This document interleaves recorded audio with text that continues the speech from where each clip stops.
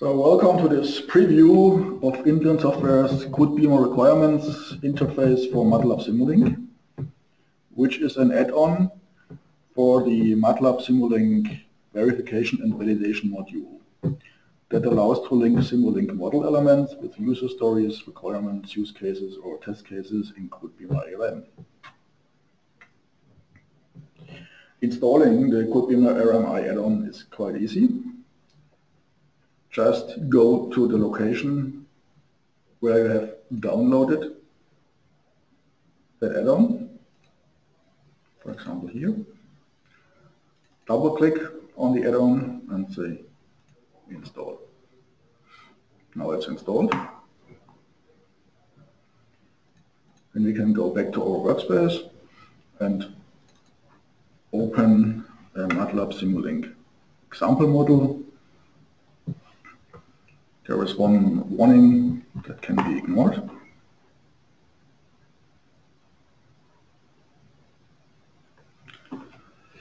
And within MATLAB Simulink, we will find CodeBeamer now under the Tools menu. And we first have to configure the connection to the CodeBeamer server.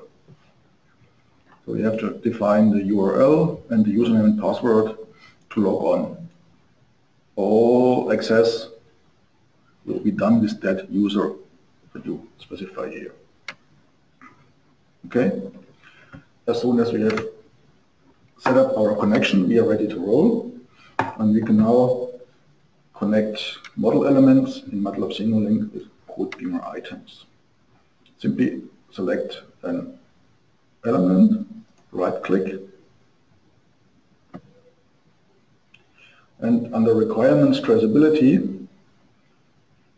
can open the link editor and now say we want to link a new requirement and under the document type you can now choose to link in CodeBeamer item.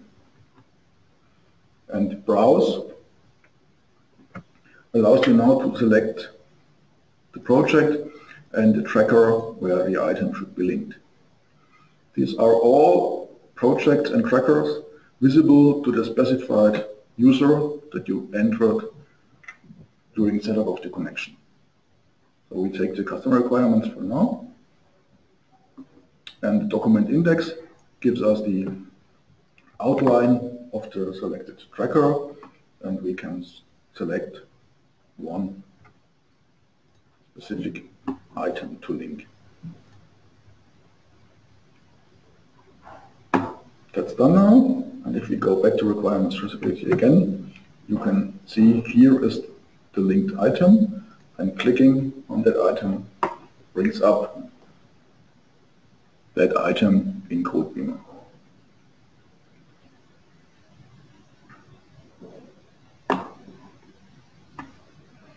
where we can see all the additional attributes.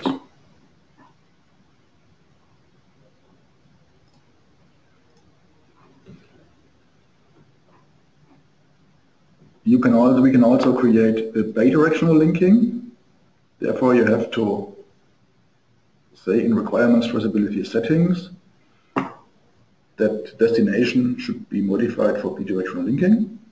Use this checkbox. And you should use the shortcut link to CodeBeamer item. This makes things easier than what you saw before in that link editor.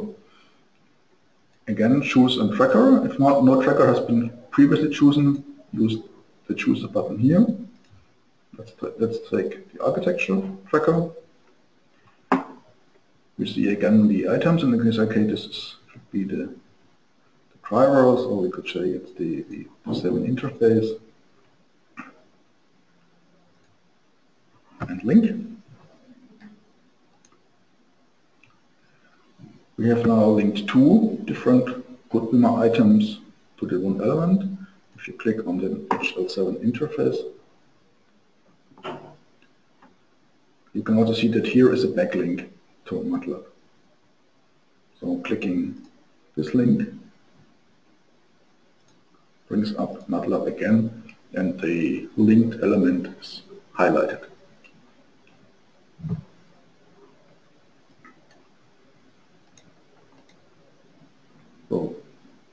You can see which elements have links.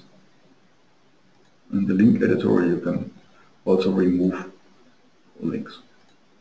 So, okay, don't want that anymore. And there are different analyses. For example, in requirements traceability, you can generate, make a consistency check. It says, okay, which elements are linked and is are the links still valid?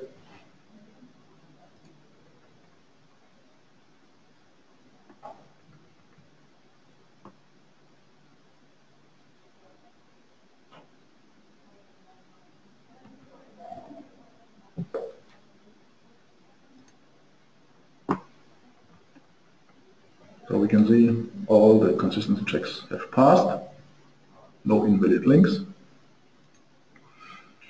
And we can also say requirements traceability highlight model. And we can simply click on an element to see details of the linked requirement. There's only one not the specific